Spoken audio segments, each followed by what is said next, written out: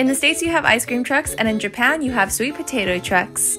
It's pretty easy to tell when they're in the neighborhood because they play the song that goes like Yakimo. Usually, the people who are operating it are older men, and they usually do all of it in the back of their truck.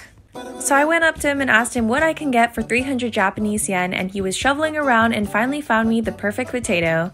I was super excited to try this, especially because this is perfect for colder days in Japan. When I got home, I unpackaged it and broke it apart, and it was so silky and delicious. Make sure you follow for more.